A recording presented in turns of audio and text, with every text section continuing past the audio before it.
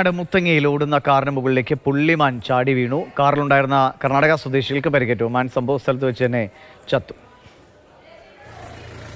തുടിക്കുന്നുണ്ട്.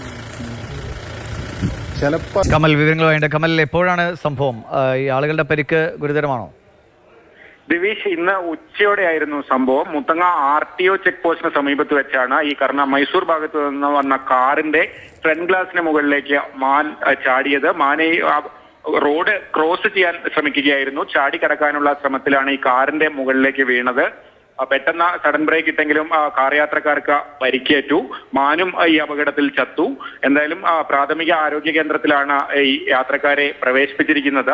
ഗുരുതരമായ പരിക്ക് ഇല്ല എന്നാണ് ലഭിക്കുന്ന വിവരം.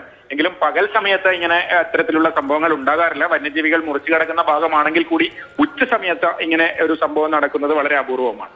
ശരി കമലാണ് വിവരങ്ങൾ നൽകിയത്.